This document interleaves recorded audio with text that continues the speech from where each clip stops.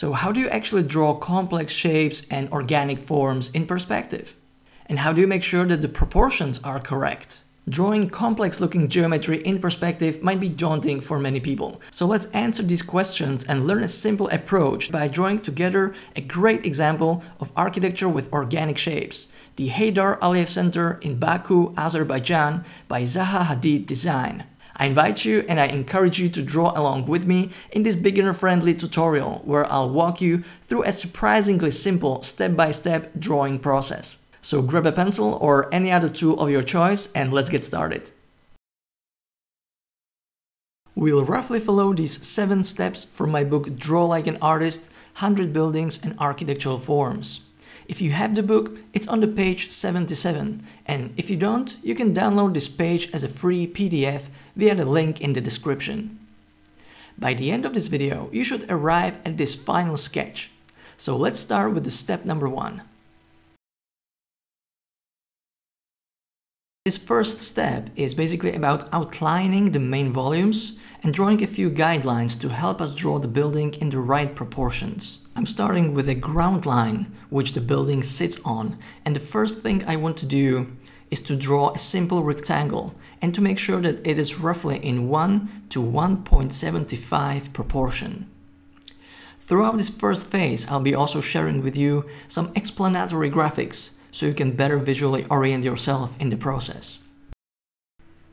Here I'm using my mechanical pencil to measure the proportion of the square one to one and prolong the horizontal distance to 0.75 more. So in the end I have the proportion 1 to 1.75.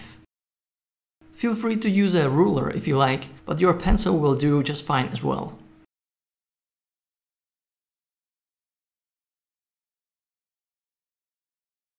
By drawing diagonals, I'm locating the center point of the box, which can serve as an anchor and a reference point for other important guidelines.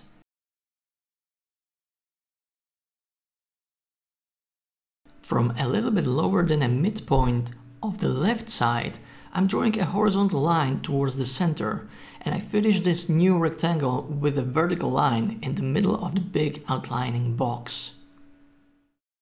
Next, I offset the right hand side of the big box by drawing a vertical line inwards. From the lower center point that has been created, I draw roughly a 45 degree diagonal all the way to meet and intersect with the previous vertical line. The last bit of this step is to create a little square in the bottom right corner of the big box by drawing a horizontal line from the center.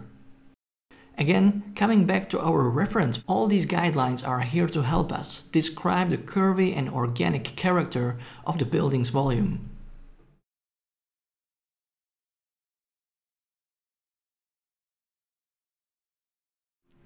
And now to the fun part with the curves. Using the established guidelines, I'm starting to draw the main leading curves of the volume. I start on the very left in the smaller box. And using the other guidelines and anchor points, I'm drawing the very outline of the main volume.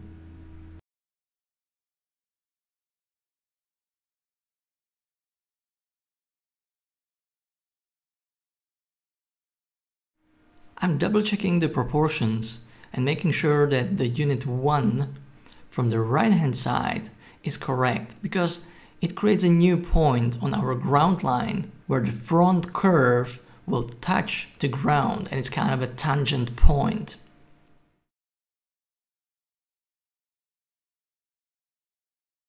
Looking at the reference step from the tutorial, I'm not fully satisfied with the left part of this frontal curve, so I'm drawing another one, trying to find a better fit. And I'm just marking the wrong one with a little X so I know what to trace later on in the inking stage. And that's it for this step.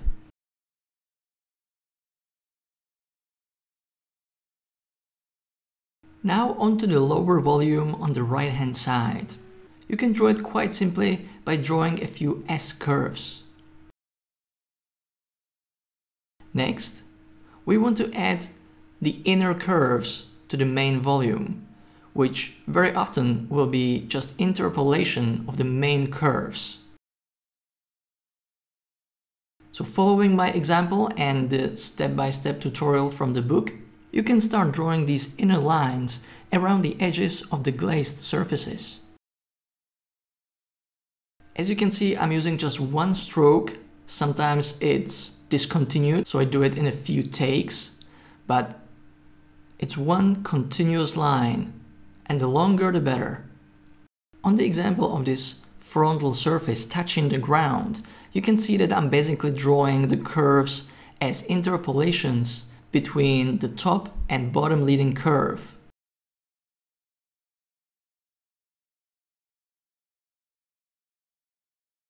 The same principle and approach to drawing these curved surfaces will be applied also to other parts of the volume.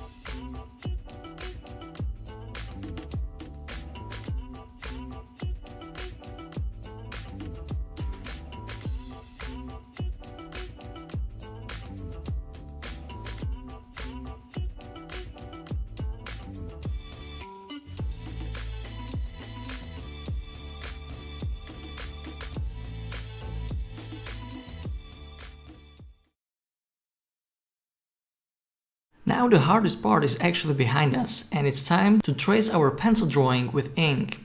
I'll be using a thin fine liner with a 0.3 tip and I'll go simply over my pencil drawing. This is a pretty straightforward process, so not much to talk about, I'll speed it up a little bit to save your time and add some music on top. I'll see you when I'm done.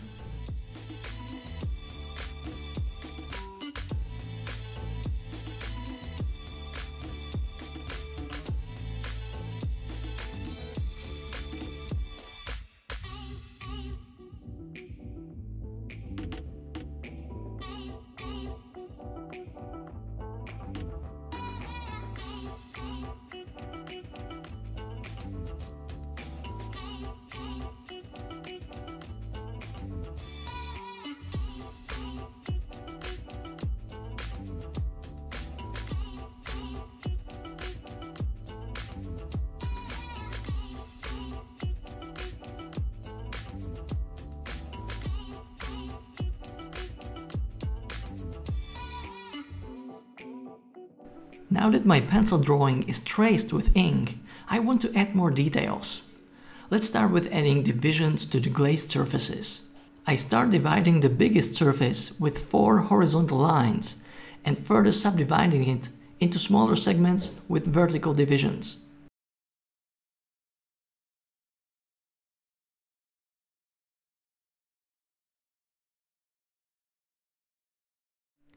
I'll repeat a similar process on the lower volume on the right hand side and because it's a little farther away from the viewer, the divisions will seem to be a bit more dense, creating smaller segments.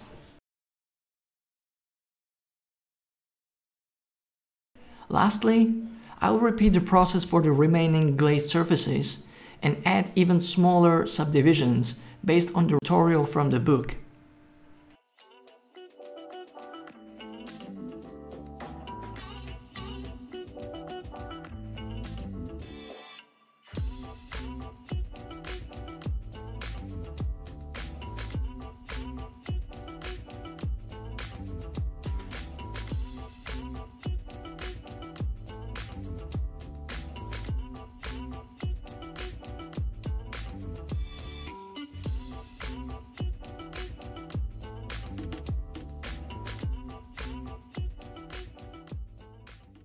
Now that we have traced all the pencil line work with ink and even added more details, we can go ahead and erase the underlying pencil drawing. For that I'm using a hard eraser.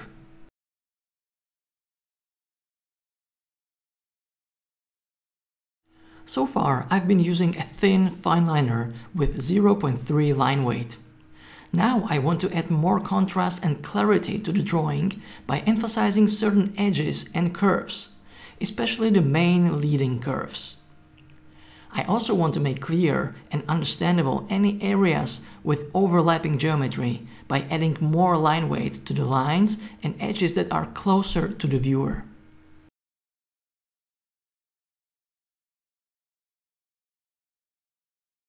Lastly, I want to add reflections to the glazed surfaces. For that, I outline the reflections based on reference with a pencil and then I'll use a gray brush marker to darken the outline areas. You could also render the reflections using just a pencil or a fine liner, but the brush marker will add a nice new touch to the drawing. It's fun to use and it's also faster as the brush covers bigger areas.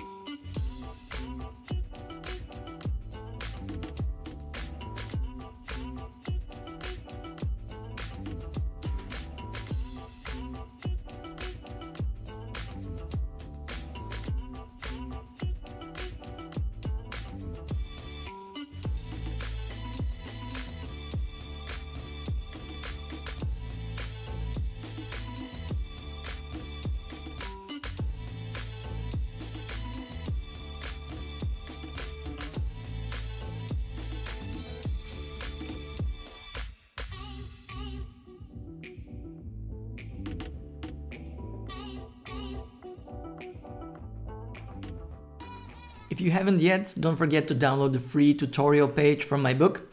The link is in the description or in the cards. And if you've been drawing along, share your creation with me on Instagram. I hope you've enjoyed this video, and if you have, check out these other drawing videos and tutorials. Happy sketching, and I'll see you in the next one.